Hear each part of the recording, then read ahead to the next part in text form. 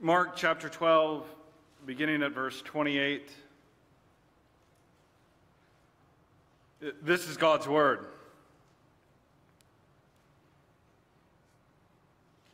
And one of the scribes came up and heard them disputing with one another.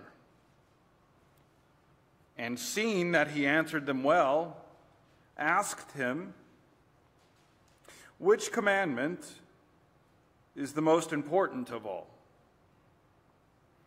Jesus answered, The most important is, Hear, O Israel, the Lord our God, the Lord is one and you shall love the Lord your God with all your heart, and with all your soul, and with all your mind, and with all your strength.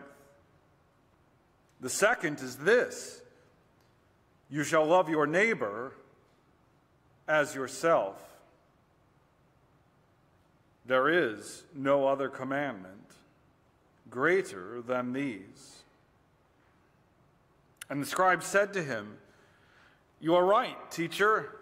You have truly said that he is one, and that there is no other besides him. And to love him with all the heart, with all the understanding, with all the strength, and to love one's neighbor as oneself is much more than all whole burnt offerings and sacrifices. And when Jesus saw that he answered wisely, he said to him, you are not far from the kingdom of God. And after that, no one dared to ask him any more questions. The grass withers, the flower fades, but the word of our God abides forever. By his grace and mercy may it be preached for you. You may be seated.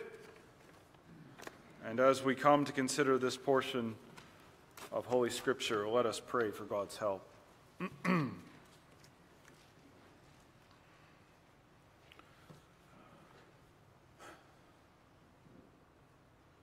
Almighty God, we are thankful for your word, and we are, th- and we are thankful for its instruction that we might be disciplined to know how to walk with you, to know rest. And as we're, we are thankful for your word, we ask that you might illumine us by the work of your Holy Spirit to understand, treasure, and apply what it teaches, especially as we think about this command of love. Overcome the deficiencies of the preacher, they are many, and bless the reading and the preaching of your holy word to bring forth fruit in our hearts, to love you more, and to serve you better. We ask it all in the wonderful name of Jesus Christ. Amen. Uh, for one of my classes in seminary, one of my professors promised a, a study guide for the, the final exam. Now, I don't think professors have to do that. It's a kindness when they do, but it's, it's really nice to have some direction in considering what the, the kind of most important facets, the, the most important points to take away are, especially when you're being examined on it.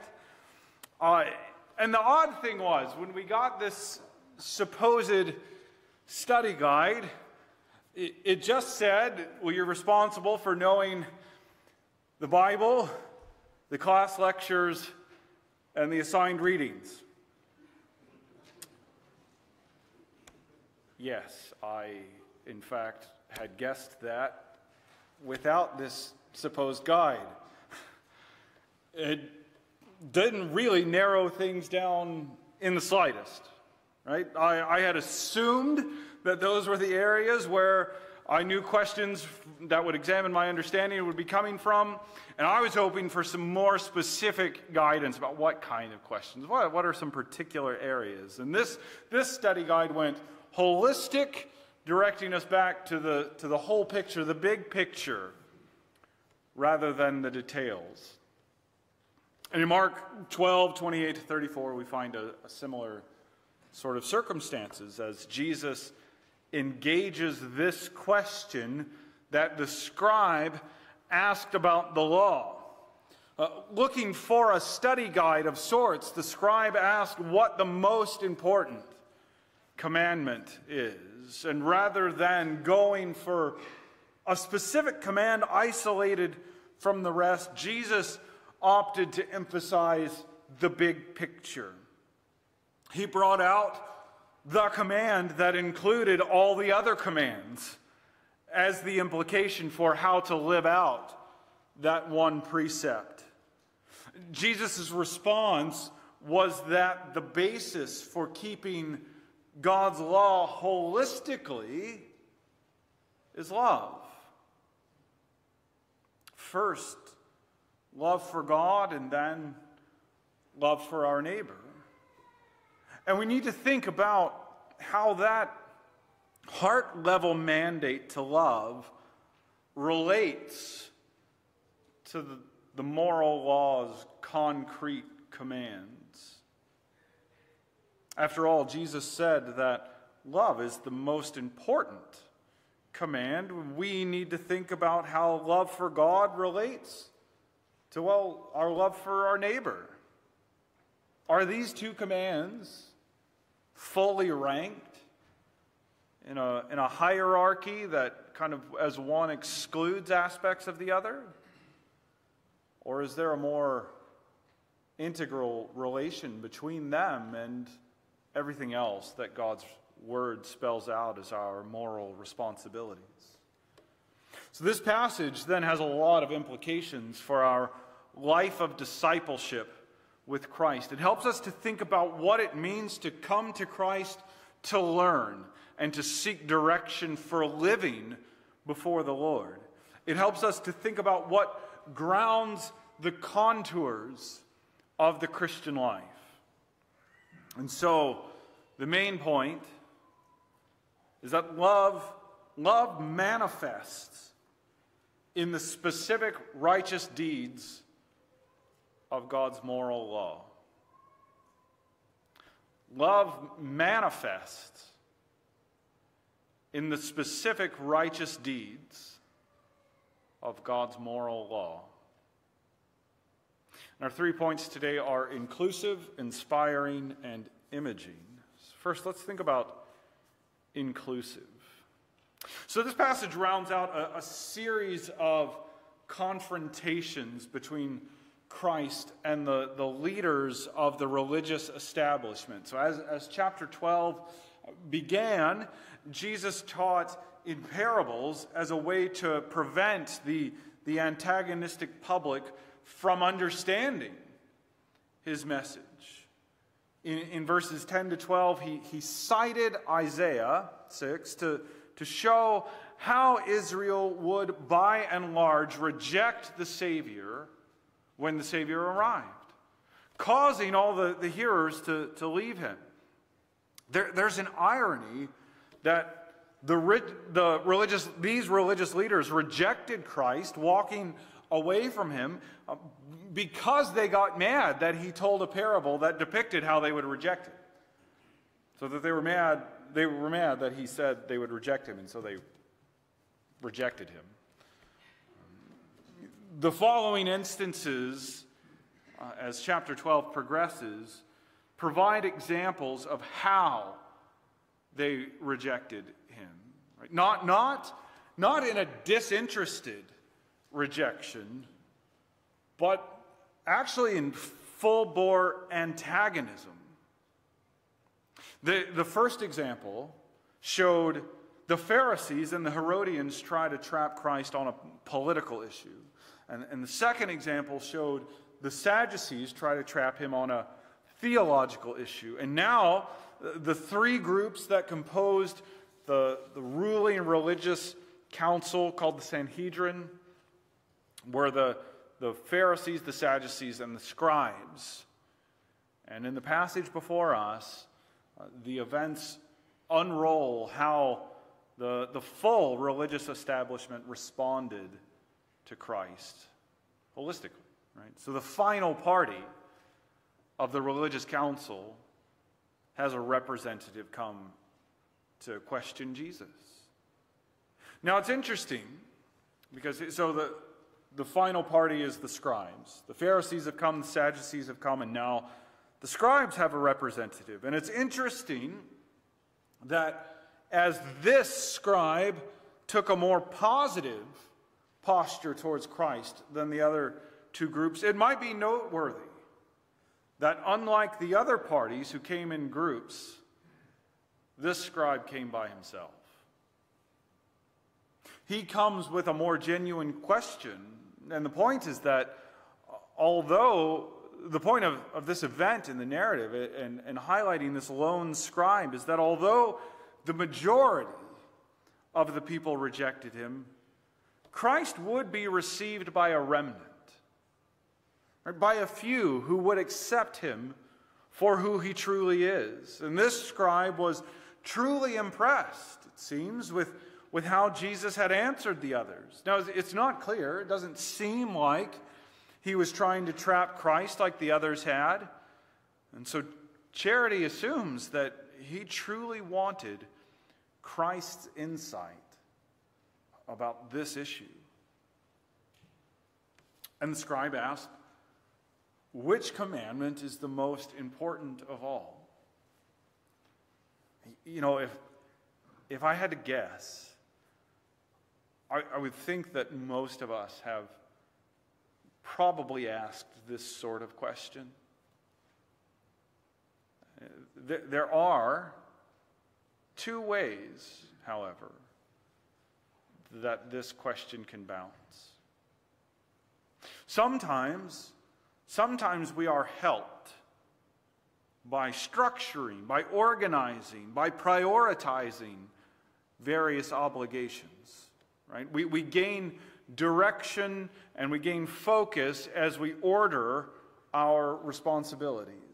It's one way that this, this question and answer could bounce. On the other hand, sometimes people ask what command is the most important because they want to dispense with the obligations that they now find a reason to deem unimportant. Well, I really just need to do the, the most important and can set aside the things that are less important. And I think it's good to pull at that a little more because we live in an age opposed to law. At least we live in an age opposed to moral laws. Many, admittedly, many may want to legislate every aspect of life, which means lots of, lots of laws. We live in an increasingly litigious culture. Ironically, that's because there is just as widespread an opposition to morality. People have, people need to legislate policies to get what they want because there can't be any appeal to moral principles when we've denied right and wrong as real categories. And the, the point to all that is when people are opposed to moral principles, asking a, kind of, a question like this about which law is most important might be meant to create an excuse to dispense with our other moral obligations.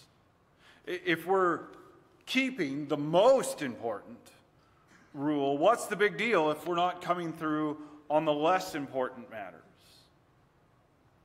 And that's actually why Jesus' response here is so applicable, so useful, so helpful, because love isn't separate from our other moral responsibilities. In fact, love is inclusive of our moral responsibilities. It's inclusive of them all, right? And that brings us to think about how love does relate to our moral obligations. And so that brings us to our second point inspiring. Inspiring. So, what we've done so far is, is just note the function of this event in Mark's developing narrative.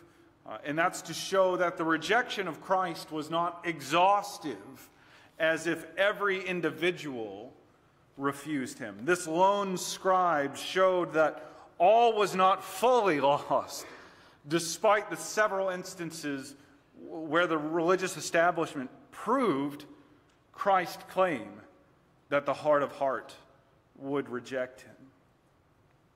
And because this event is more positive, as Christ answered the scribe's question, we ought to think more fully about the content of Christ's lesson here, too. As someone came to him to learn, he taught them. And so we ought to be interested to come to Jesus to learn and to hear what he has taught. And so the question wasn't a challenge to trap Jesus, but, but opened the door to beneficial reflection. And what we see is that Jesus' answer gets to the very principle of the law, in, in that it shows us not a, not a full blown ranked ordering of which commands to keep before the others. Rather, his answer shows us which command, if kept properly, will result in keeping the other more particular instructions outlined in God's law. If you love God and your neighbor the right way, well, then you'll be keeping the other details of God's moral law. In other words, love summarizes. It's not, it's not separate from, it summarizes the whole law as our response to God and to our neighbor. Before we, before we dive into how this might shape our, our thinking and our living, um, I think we should note how our, our shorter catechism picks up exactly what Christ was doing here. And this, this helps us get some clarity, and it also helps us see some good you know, reflection that we own upon how these passages work. So, Westminster Shorter Catechism 41 and 42 deal with this, and they ask the first one asks, Where is the moral law summarily comprehended? So, it's asking, where can we find a basic outline of the moral responsibilities that, that we are obligated to keep as those who bear God's image? Where can we find an outline of those moral obligations? And the answer is the moral law is summarily comprehended. The moral law is summarized, right? Moral law is summarized in the Ten Commandments. And because the, because the Ten Commandments summarize our basic moral obligations as, as God's image bearing creatures, well, we see why Christians have long cherished them as, as guiding our Christian walk. Right? The West, they, they provide the study guide, so to speak. And so then the Westminster Shorter Catechism, the next question asks, you know, it's, it's saying, well, we've got the sum of the moral law. What's the sum of the Ten Commandments? That's the question. What is the sum of the Ten Commandments? It says, the sum of the Ten Commandments is to love the Lord our God with all our heart, with all our soul, with all our strength, and with all our mind, and our neighbor as ourselves. And so we have here how, well, the Ten Commandments give us a digest of the more expansive moral obligations we have, and then this rule of love is a summary of the Ten Commandments itself. And Jesus, what Jesus is doing here is he combined citations from Deuteronomy 6, 4, and 5, uh, and Leviticus 19, 18, to show us the deeper operating principle in our hearts, namely love, that, that grows into the practical fruit of obedience to particular aspects of the moral law. Now, we see, now we, we can see here how Christ's answer really does undermine uh, any attempt to, to rank one virtue to the exclusion of, to rank one virtue to the exclusion of other responsibilities before God. Right? That, that's the danger that we have to be aware of. The, that, we could, that we could take one thing that we're supposed to do and use it to get away from the other things that we're supposed to do. Why, why is this? Why am I belaboring this? The, the advertising tactic of our day is love. The stance of supposed love is used to enable and endorse all sorts of behavior that is contrary to God's moral law. All I have to do is drop the slogan, love is love, and you know exactly what I mean. Because everybody, I, I watched, everybody recognized that phrase. And that phrase is trying to leverage love to the exclusion of our other responsibilities before the Lord, as if we can disconnect them. And, and the trouble here, the, the problem that we have to understand, young people in particular, young people in particular, listen, listen to this. If you zone out for all the rest, listen to this. You will face this in school, in culture, as you grow.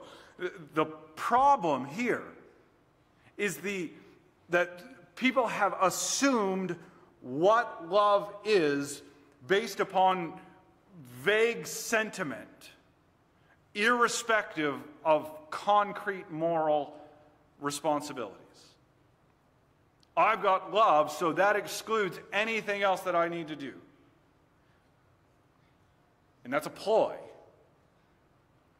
It's rhetorically effective, as we can see in, in the wider world, but it has no teeth if you take the lid off of it.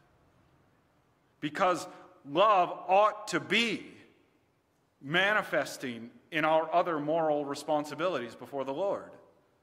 For Christ, love is not separate from God's law, but summarizes God's law. Love is the umbrella category, and the other points of the law provide examples of how to love. Right? You've got 10 really pointed ones, 10 examples of what it looks like to love God and neighbor. God's moral law, summarized in the Ten Commandments, explains in practical terms the way in which we ought to be loving.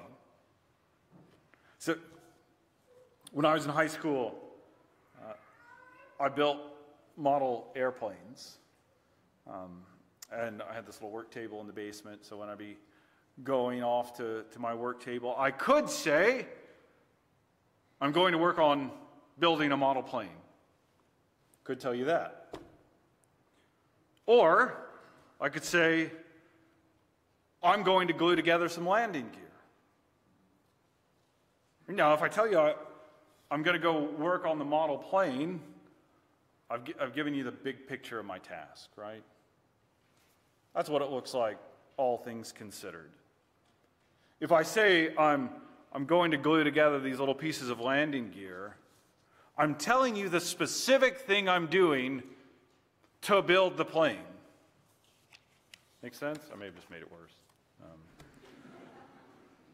the point, the point is that this relation between love of love and, and God's other moral commands is intrinsic, right?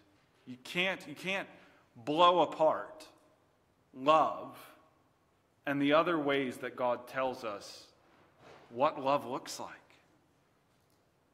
You know, I could tell you I'm loving, or I could tell you that I'm honoring my father and mother, the second thing is just a more spe- that more specific action is just a way of telling you how I'm loving, not something other than loving.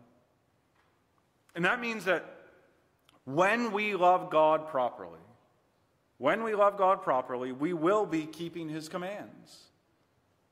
And that's why Jesus said in John 14, 15, if you love me, you will keep my commandments. It's not a condition, it's not if you love me, well, then now I've got the guilt trip to make you go. It's if you love me, that's going to look like keeping my commandments. So keeping God's commands out of, out of love for Him is grounded in our identity as those made in His image. God's law is a summary of His character. When, when we read or, or watch um, yeah, a story about the character who most inspires us, we want to be like them, right? We want to emulate bravery, integrity, fortitude. And because that story motivates us to, to try, to strive after those things that are noble and good. And God's law presents us with who God is, it describes what He's like. We don't lie because God is truth. We don't murder because God is life. And so love is just reflecting God's character by keeping his moral law. Since the moral law shows us what God is like, it shows us what we were made to be like, and it shows us what we should want to be like. So God's character, as, as described in the moral law, is inspiring for how we ought to be. And that brings us to our final point imaging. Imaging.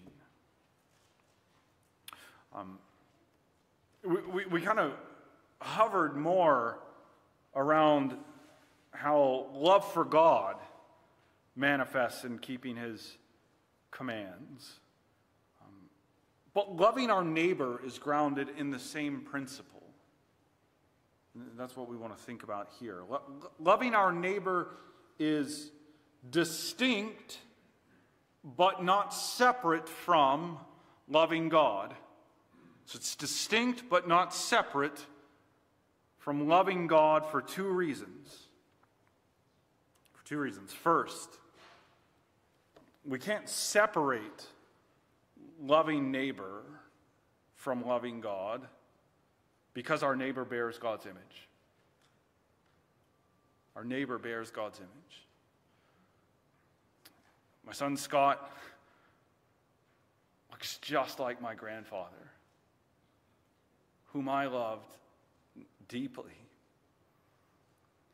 And that Scott bears the likeness of this man who meant so much to me. Makes me love and cherish Scott all the more.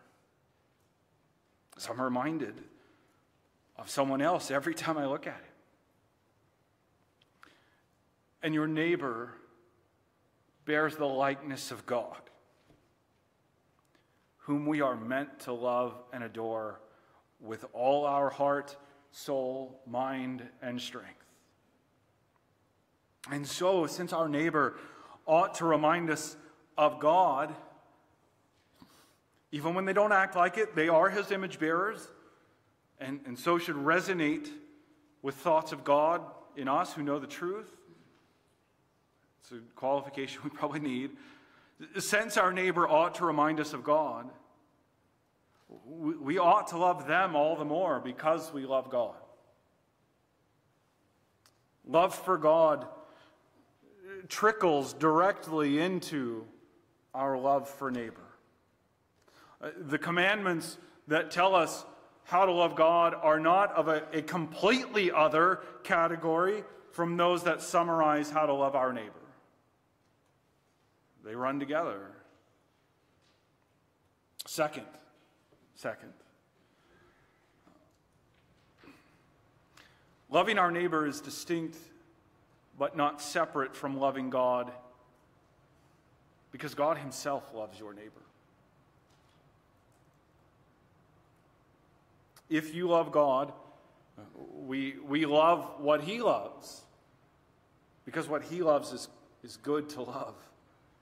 Right? No, no matter what ways your neighbor rubs you the wrong way, whether that neighbor is a fellow church member or someone in the world outside, It happens occasionally that we get bothered with each other in the church. We can admit that. So, regardless of how your neighbor rubs you the wrong way, God loves her or him. God made that person to bear his likeness. And we see then that imaging God as his image bearers means loving God and loving our neighbors. We reflect God who loves our neighbors by loving our neighbors. And we always focus at this point on how Christ died to forgive your sins. And we'll do that too. We need to keep in mind, though, that Christ died also to forgive your neighbor's sin. The, the crater of reconciliation was made by Christ slamming not only into you, but by making a hole that encompasses all who trust in him. And that means that Jesus has indeed given himself to reconcile you to God directly. And in that way, he will teach us how to love God. But he gave himself to reconcile you to everyone else whom he saves as well. And so teaching you to love your neighbor also as we increase in imaging him. Uh, we learn that love. We learn that love that we, that we should, can, and will give, not because we first loved him, but because he first loved us and gave his son that we might be redeemed from the curse. That the Lord Jesus would keep this command and every command in our place would pay the penalty for our sin that we might be forgiven, and has written our names, your name, in the Lamb's book of life. Let's pray. Father God, we're glad that you, our loving Father, are indeed our Father, that we can call you by that family name. It is so easy to get discouraged in our own attempts to love. We get bogged down in frustrations and things that weigh heavily upon us. We don't always do well at this. But, Lord, we do seek after you, that you might remind us of how you, as our Father, have made us brothers and sisters of the Lord Jesus. And love us, shower us with your love in Christ. And help us to see that as you have first loved us, it's good to respond by loving you. What else could we do? And it's good to respond in your love for us by loving our neighbor, whom you have also loved. And so, as we think about what it means to, to love people in the world and what it means to walk faithfully according to your law, help us to see that these things are bound together. That, well, your commandments describe what it means to love someone. And help us to rejoice that the Lord Jesus has kept all of those commands for us because he loved us. And so let us celebrate his life and all of his work for us, especially as we come to this table. We ask it in his name for his sake. Amen.